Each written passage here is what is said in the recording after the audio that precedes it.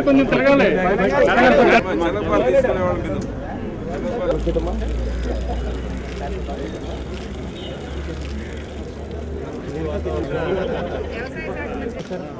నారాయణ స్వామి రమ్మని పెద్ద ఆయన.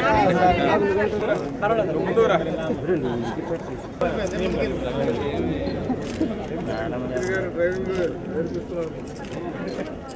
ఎక్కువ అమ్మేస్తున్నాం దాంట్లో పోతుందండి గవర్నమెంట్ ఏం లాభం లేదు.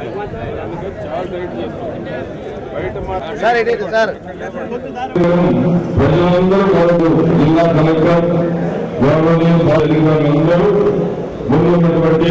రైతు సోదర సోదరులు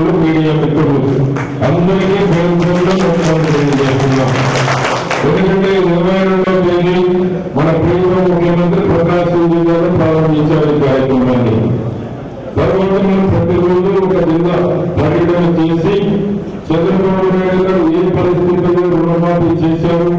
ఎంత కష్టం దీనికి అనుకుంది లోటు బడ్జెట్ ఉన్నప్పుడు కూడా ఇరవై నాలుగు వేల కోట్ల రుణమాఫీని ఏ విధంగా చేయగలిగారు?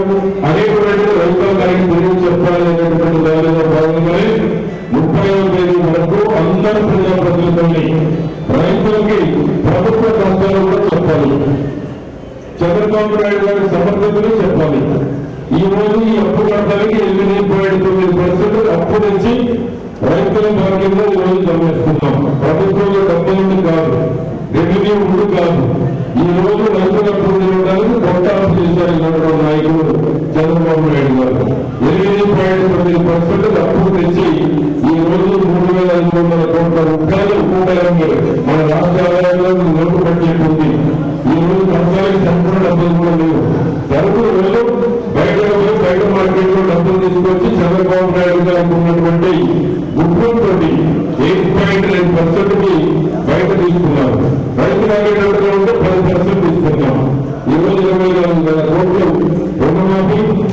ఈ జిల్లా చూసుకుంటే ఐదు వందల డెబ్బై ఒక్క కోట్లు రుణమాఫీ చేశారు.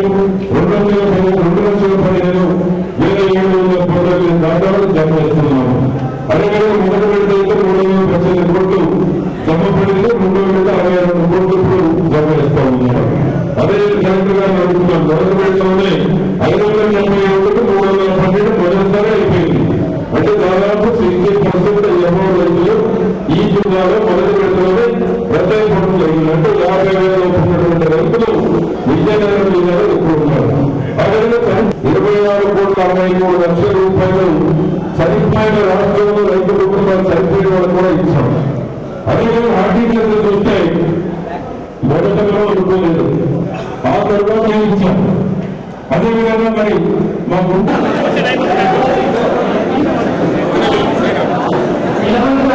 ఇరవై